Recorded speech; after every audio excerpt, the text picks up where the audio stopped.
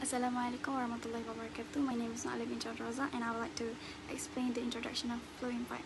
Pipes are all around us. Every time we turn the faucet, we expect water to come out. We expect there to be sufficient pressure to get the job done, be it filling a glass of water in a timely manner or taking a nice shower.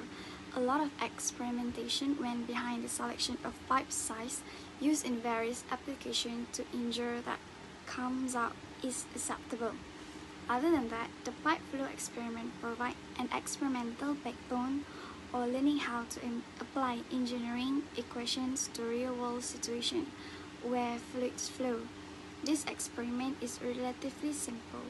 Regardless of this fact, all the required personnel protective equipment should be worn by all team members while in the lab. Some devices use 10 different manometer apparatus for measuring head loss along a pipe and stopwatch.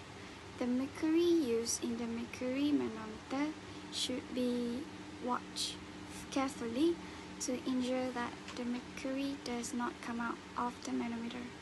As with any hazardous, all team members working on or near this apparatus should be fully aware of what they are near.